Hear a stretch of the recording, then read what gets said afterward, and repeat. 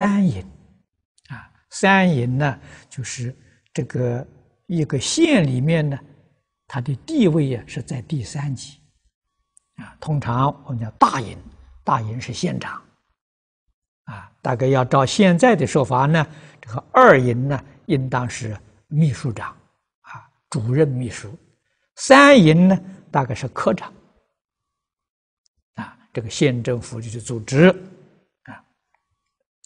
随之，啊，他随着他的父亲啊到这个嘉山，哎来就职，啊，他父亲相当于这个县政府的一个科长，啊，穆钱明武，啊，钱明武是当时的一位学者，啊，很有学问德行的一位老先生，啊，知文见智。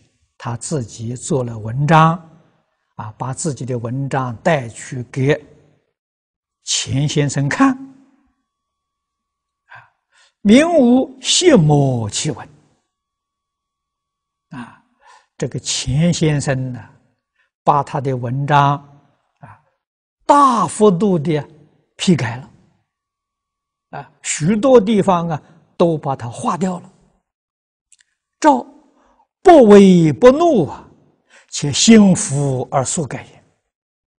通常文人的习气，总是自己的文章好，别人改动自己文章啊，心里总是不服。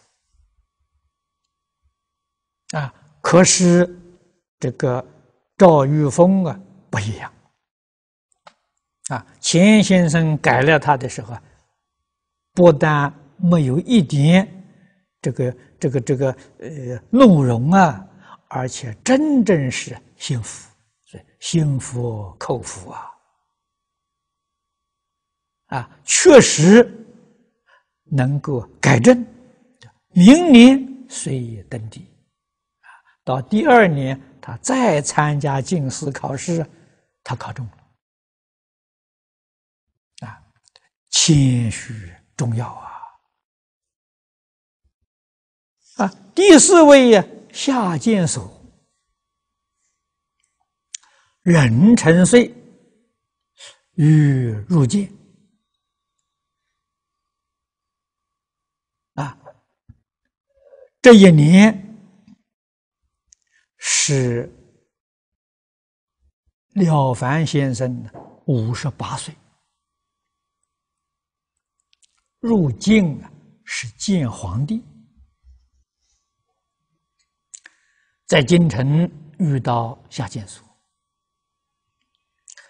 见其人气虚意下了，谦光别人，啊，非常谦虚，啊，真的做到了自卑而尊人。